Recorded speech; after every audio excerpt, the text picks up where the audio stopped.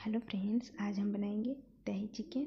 जी हाँ तो आइए हम इसे बनाना शुरू करते हैं। इससे पहले आप मेरे चैनल को सब्सक्राइब और मेरी वीडियो अच्छी लगे तो लाइक कर दीजिएगा, प्लीज़। तो आइए हम इसे बनाना शुरू करते हैं।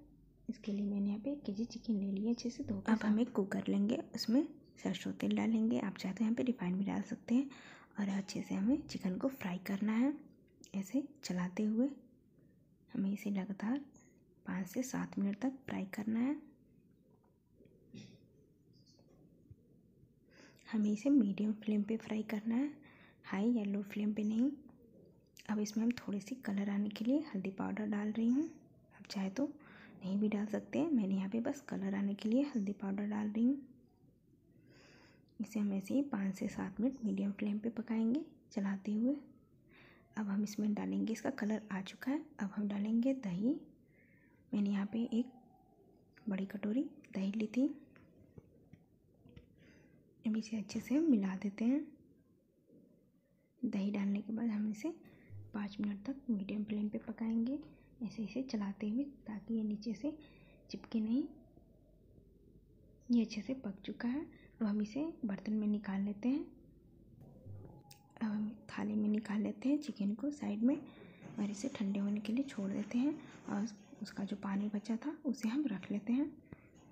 अब हम सेम कुकर ले रहे हैं। उसमें सरसों तेल जीरा, धनिया बीज, काला तिल और लाल मिर्च डाल दे रहे हैं दो।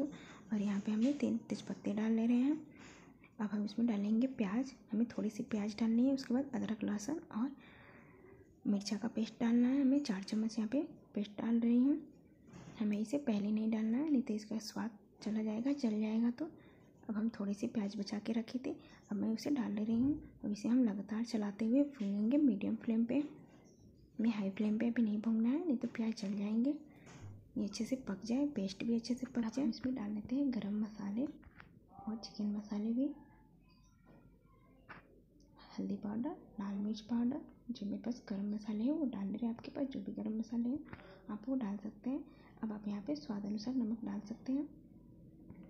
मैंने यहाँ पे स्वाद अनुसार नमक डाल लिए अब इसे अच्छे से भून लेते हैं। मसाले डालने के बाद हमें मीडियम फ्लेम पे दो से तीन मिनट भूनना है इसका कलर चेंज हो चुका है ये अच्छे से भुना गया है प्याज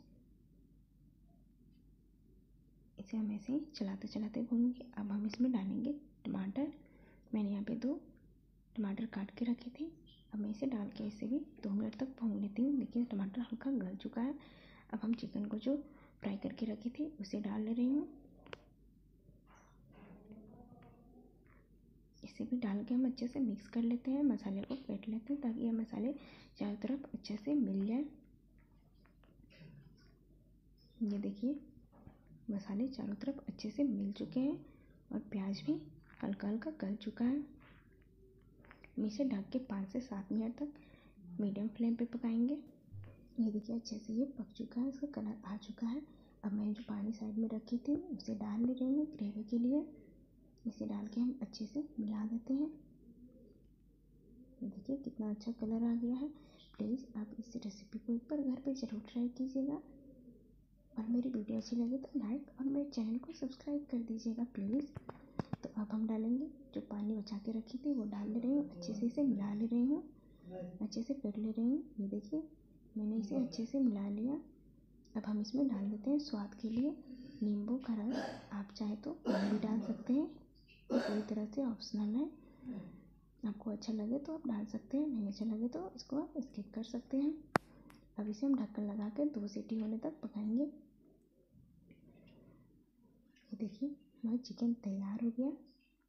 मेरी रेसिपी आपको अच्छी लगे तो मेरी वीडियो को लाइक और मेरे चैनल को सब्सक्राइब कर दीजिएगा प्लीज़ तो फिर मिलते हैं अगली वीडियो के साथ।